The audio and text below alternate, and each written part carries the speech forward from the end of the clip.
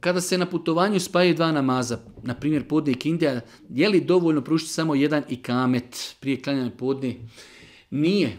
Kada se spajaju namazi, čovjek koji je musafir ima mogućnost da spoji, ako ima znači potrebu da spoji podne sa ikindijom, akšam sa jacijom. Kako će klanjati? Prvo će proučiti ezan, nakon toga uči se i kamet za, evo rećemo, podni. Kada preda selam, nakon dva rekiata, ustaće ponovo na namaz, proučit će ponovo i kamet, pa će nakon toga klanjati i kindiju. Znači, kada spajamo namaze, spajaju se sa jednim ezanom i sa dva i kameta.